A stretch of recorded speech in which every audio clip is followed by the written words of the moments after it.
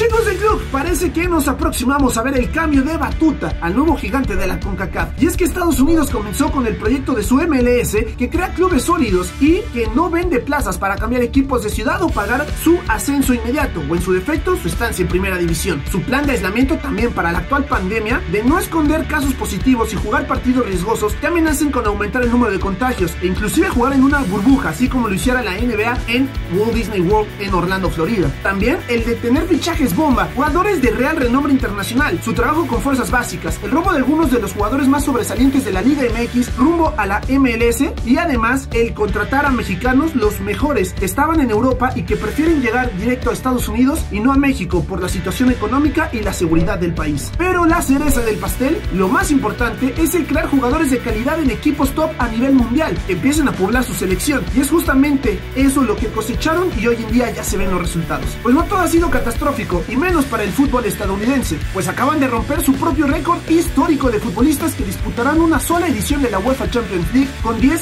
de ellos, los dos de más edad de 25 y de ahí hacia abajo de 22 a 18 más o menos. El 10 del Chelsea, Christian Pulisic, es quien lidera esta generación, seguido de la pareja del Barcelona, Serginho Dest y Conrad de la Fuente. El nuevo fichaje de la Juventus, Weston McKinney y la perla del Borussia Dortmund, Giovanni Reina, solo por mencionar algunos de esta decena. Mientras que México solo tendrá tres representantes, Edson Álvarez del Ajax, Tecatito Corona del Porto, que acaba de ser galardonado como el mejor futbolista de la Liga de Portugal, y Héctor Herrera del Atlético de Madrid, que aún está en duda su continuidad con este club. ¿Tú crees realmente que este proyecto estadounidense es mucho más sólido que el de México rumbo al Mundial en 2026, donde ambas naciones, junto con Canadá, seremos sede de la próxima Copa del Mundo? Síguenos en arroba MX y www.gluck.mx. Si te gustó este video, yo te invito a que lo compartas. Pues yo, arroba, soy Adrián Caloca.